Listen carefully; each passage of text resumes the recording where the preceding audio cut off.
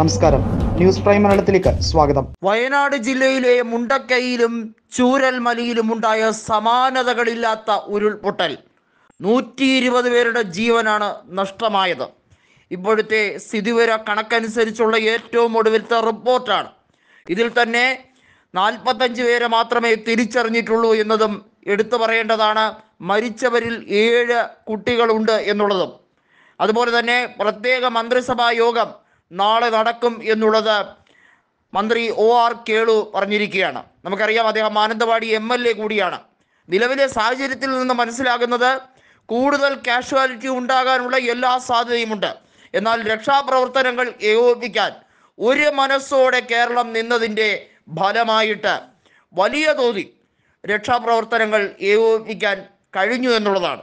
പ്രതിപക്ഷ നേതാവ് രാഹുൽ ഗാന്ധിയുടെ മണ്ഡലം കൂടിയാണ് വയനാട്. വയനാട്ടിൽ കൃത്യമായും സഹായം എത്തിക്കേണ്ടതിന്റെ അനിവാര്യതയെക്കുറിച്ച് രാഹുൽ ഗാന്ധി അടിയന്തര പ്രമേയം ചർച്ച ചെയ്തുകൊണ്ട് തന്നെ അവതരിപ്പിച്ചതാണ്. സ്പീക്കർക്ക് മുമ്പാകെ കൃത്യമായും വയനാടിലെ സ്ഥിതി വിവര കണക്കുകൾ ഉൾപ്പെടെയുള്ള കാര്യങ്ങൾ പറഞ്ഞുകൊണ്ട് അടിയന്തരമായ രക്ഷാപ്രവർത്തനവും അതുപോലെ തന്നെ യുദ്ധകാലാടിസ്ഥാനത്തിലുള്ള പ്രവർത്തനവും അതുപോലെ തന്നെ ഇത് ദേശീയ ദുരന്തമായി പ്രഖ്യാപിക്കാൻ കൂടി പറഞ്ഞിരിക്കുന്ന സാഹചര്യം കൂടിയാണ്.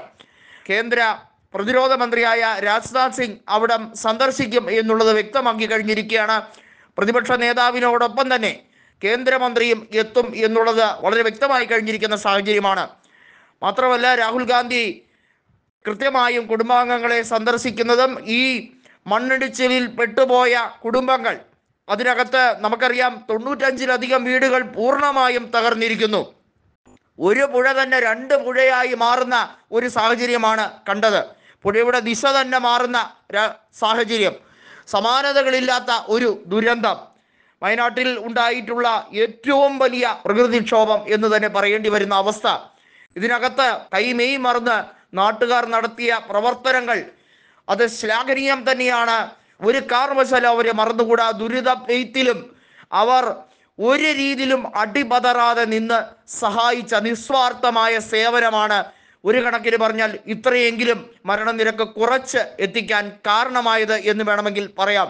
അസാമാന്യമായിട്ടുള്ള രക്ഷാപ്രവർത്തനം തന്നെയായിരുന്നു സൈനികരും അതുപോലെ തന്നെ നാട്ടുകാരും ചേർന്ന് നടത്തിയത്. രക്ഷാപ്രവർത്തകരും പോലീസും ഒക്കെ ചേർന്ന് സമാനതകളില്ലാത്ത രക്ഷാപ്രവർത്തനം തന്നെയാണ് നടത്തിയിരിക്കുന്നത്. പ്രിയങ്ക ഗാന്ധി ഇവിടെ വരും ഇവിടെ തമ്പടിക്കും എന്നുള്ള കാര്യത്തിൽ ഒരു സംശയവുമില്ല.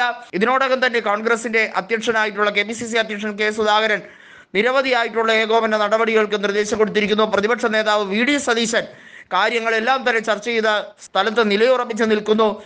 അസാമാന്യമായ ഒരു കരുത്തും പിന്തുണയുമാണ് പ്രതിപക്ഷത്തിന്റെ ഭാഗത്തു നിന്നും ഉണ്ടായിരിക്കുന്നത്.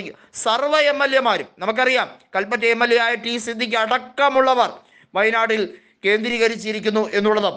അതുപോലെ ബത്തേരി എം എൽ എ ആയിട്ടുള്ള ഐ സി ബാലകൃഷ്ണൻ അടക്കമുള്ളവർ അവിടെ തമ്പടിച്ച് പ്രവർത്തനം ആരംഭിച്ചിരിക്കുന്നു. അതിശക്തമായിട്ടുള്ള പ്രവർത്തനമാണ്. റിലീഫ് ക്യാമ്പുകൾ തുടങ്ങിയിരിക്കുന്നു. കൺട്രോൾ റൂമുകൾ പ്രവർത്തിക്കുന്നു. ത്വരിതപ്പെടുത്തിക്കൊണ്ടുള്ള ശരവേഗത്തിലുള്ള കാര്യങ്ങളാണ് അവിടെ നടക്കുന്നത്. അടിയന്തര മന്ത്രിസഭാ യോഗത്തിൽ എത്രയാണ് അവിടെ നഷ്ടപരിഹാര തുക ഉൾപ്പെടെ എന്തൊക്കെ പാക്കേജുകൾ റിലീഫ് ക്യാമ്പിലേക്ക് എന്തൊക്കെ പ്രവർത്തനങ്ങൾ ഇതെല്ലാം വന്നിരിക്കുന്നു. അതിനിടയിൽ സ്റ്റാലിൻ അഞ്ചു കോടി രൂപ പ്രഖ്യാപിച്ചു കഴിഞ്ഞിരിക്കുന്നു. ഇതിൽ ആദ്യ ഗഡുവായി ആണ് പറഞ്ഞിരിക്കുന്നത്. ഇനിയും കൂടുതൽ അത് കൃത്യമായും വിലയിരുത്തിക്കൊണ്ട് കൂടുതൽ സഹായം നൽകും എന്ന ഉറപ്പ് നൽകിയിരിക്കുന്നു. അതിനോടൊപ്പം തന്നെ നിരവധിയായ സന്നദ്ധ സംഘടനകൾ വന്നിരിക്കുന്നു. ഇതിനോടൊപ്പം തന്നെ രാഹുൽ ഗാന്ധി പറഞ്ഞൊരു കാര്യമുണ്ട്.